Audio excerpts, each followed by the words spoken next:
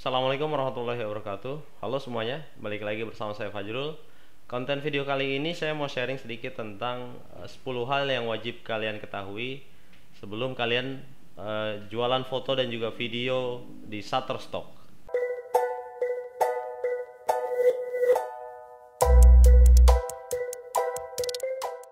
Nah, setidaknya ada 10 poin yang menurut saya wajib eh, kalian ketahui eh, sebelum kalian mulai jualan foto dan juga video di internet. Eh, beberapa poin menjadi pertanyaan yang eh, menurut saya sering juga ditanyakan oleh teman-teman eh, kepada saya melalui DM Instagram. Kemudian memang video ini saya buat khusus untuk teman-teman yang masih baru di dunia eh, microstock ya. Selain itu di akhir video ini juga saya akan kasih eh, tips bagaimana caranya agar teman-teman ini nggak baper ketika kalian sudah submit foto, sudah submit video, tetapi sampai sekarang belum ada yang download atau belum ada yang beli. Makanya kalian harus tonton video ini sampai selesai. Dan seperti biasa silakan di like video ini.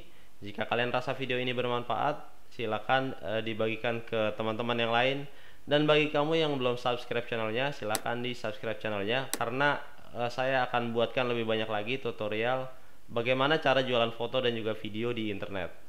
Oke, kita mulai dari poin yang pertama ya. E, hal penting yang harus kalian lakukan sebelum e, menjual foto dan juga video di Shutterstock.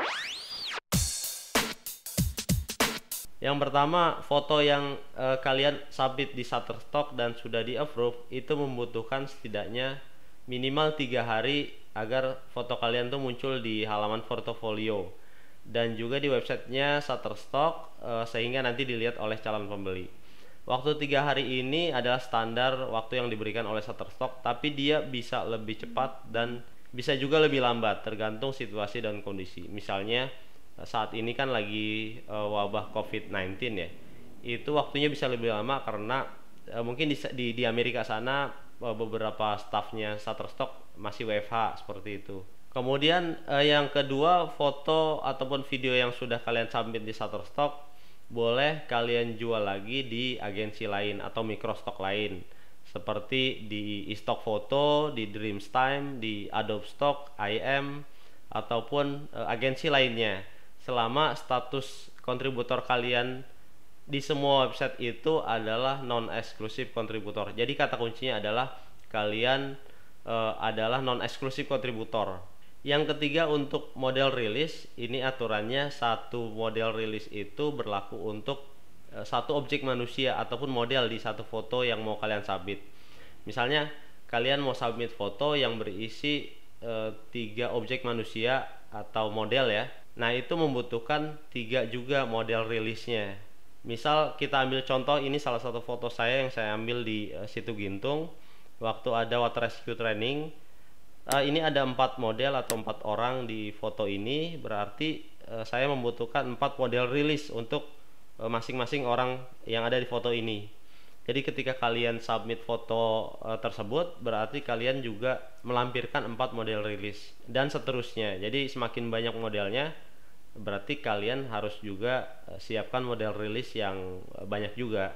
Kemudian untuk satu model rilis itu valid uh, untuk satu sesi pemotretan di uh, waktu atau tanggal dan juga uh, lokasi yang sama.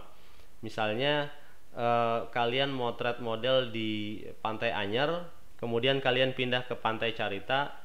Uh, yang saya tahu Anyer Carita itu beda kota ya antara Serang dan juga Pandeglang berarti kamu membutuhkan uh, model rilis yang baru. Jadi di Anyer satu model rilis begitu pindah ke Carita kalian bikin lagi satu model rilis. Lalu yang keempat, bagi teman-teman yang suka fotografi jalanan atau street uh, fotografi, kalian tetap bisa menjual ataupun mensubmit foto kalian ke Shutterstock walaupun tanpa model rilis. Nah, caranya adalah kalian masukkan ke kategori editorial. Jadi hasil uh, nyetrit kalian itu nggak akan sia-sia dan juga masih bisa dijual di microstock ataupun di Shutterstock. Ini saya kasih contoh beberapa foto saya yang uh, saya ambil di jalanan ini di Sudirman eh, saya masukkan atau saya jual di Shutterstock dengan kategori editorial. Jadi bedanya adalah selain eh, ketika kalian submit kalian pilih menu editorial kalian juga harus membuat uh, deskripsi foto dengan format untuk foto editorial. Itu agak berbeda memang uh, deskripsinya. Silakan kalian tonton video saya saya pernah buatkan beberapa uh, tutorial bagaimana cara membuat deskripsi foto untuk foto editorial. Linknya nanti akan saya share di deskripsi foto ataupun di pojok atas ya. Kemudian ini yang kedua juga uh, ini di Petaling Street. Ini saya masukkan juga ke kategori editorial. Kemudian ini acara festival kebudayaan Jepang di Blok M Enichisai. Ini walaupun ada model tapi karena saya nggak bisa dapat model rilisnya jadi saya masukkan ke kategori editorial. Seperti ini juga sama masuk kategori editorial. Jadi ada solusi buat teman-teman yang suka nyetrit di jalan ya di mana tanpa harus e, mempunyai model rilis kalian bisa tetap menjual foto kalian di Shutterstock.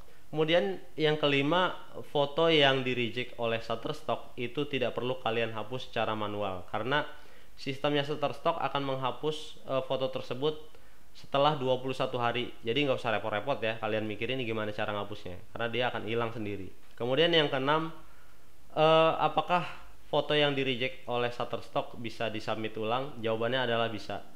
Dengan cara kalian mengkoreksi eh, alasan kenapa foto tersebut di reject misalnya foto A di reject karena kesalahan eh, deskripsi eh, tidak menggunakan bahasa Inggris misalnya atau kesalahan karena uh, keywordnya tidak relevan dengan foto yang disubmit tidak sesuai.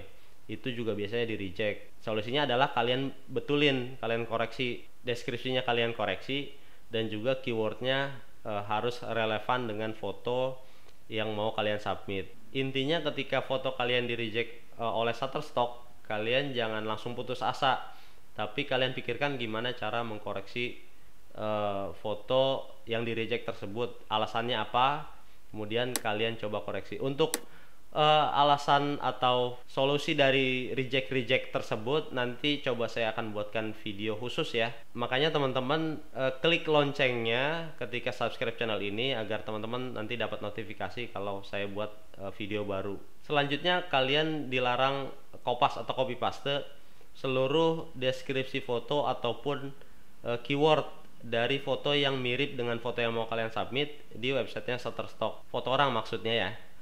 Jadi e, kalau kalian misalnya kalian bingung ini gimana cara buat deskripsi fotonya terus kalian cari foto orang lain yang mirip kemudian kalian kopas e, tok gitu tanpa perubahan sama sekali itu dilarang.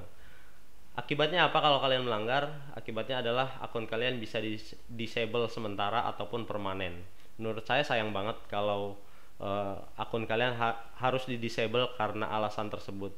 Terlebih kalau kalian punya earning di situ karena ketika akun kalian di disable earningnya tidak bisa dicairkan, kalian tidak bisa gajian.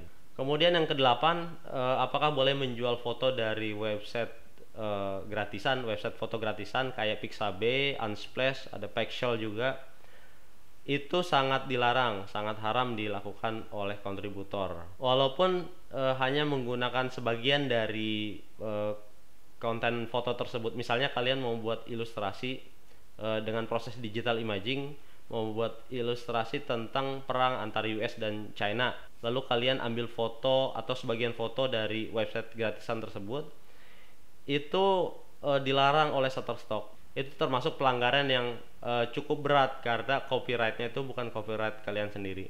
Jadi di Shutterstock ataupun di Microstock uh, pada umumnya sangat menghargai copyright ataupun hak cipta. Kalau kalian melanggar itu pasti di disable permanen untuk uh, hal yang seperti itu ataupun juga plagiarisme itu akan di disable permanen. Jadi hati-hati ya dan jangan sampailah kalian melakukan hal seperti itu. Lalu yang kesembilan untuk payment dia akan diakumulasi uh, setiap akhir bulan. Jadi ketika misal di bulan Juli kalian sudah mencapai uh, batas dari yang kalian set sendiri, misal let's say 50 US dollar.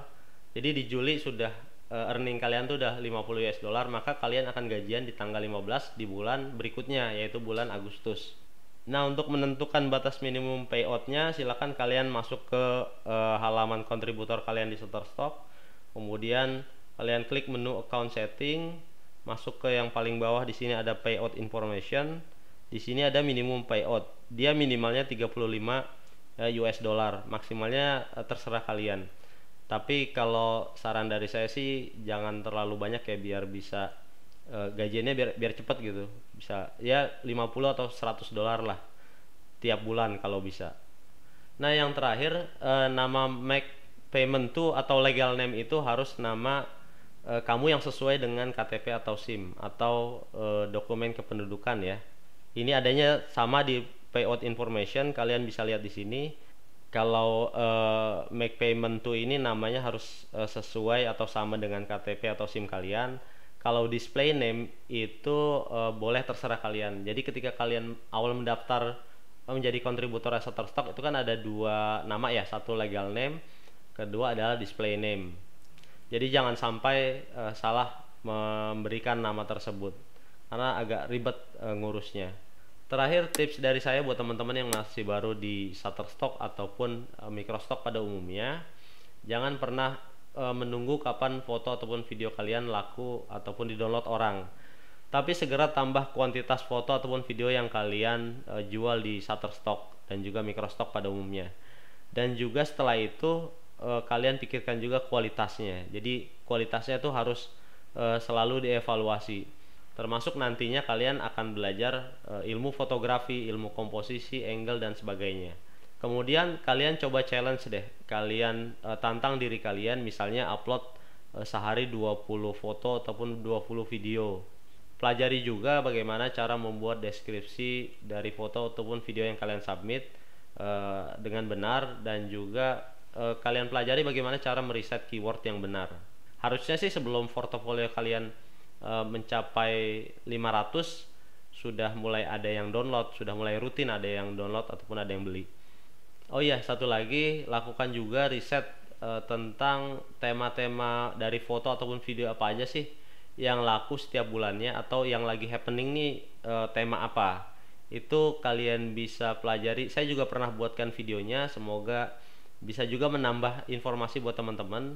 Linknya nanti coba saya letakkan di deskripsi video ini ya. Oke, mungkin uh, cukup sekian konten video kali ini. Nanti uh, saya akan coba tambahkan atau buatkan konten video dari hal penting yang perlu kalian ketahui sebelum jualan foto dan juga video di internet. Kita ketemu di video selanjutnya. Wassalamualaikum warahmatullahi wabarakatuh.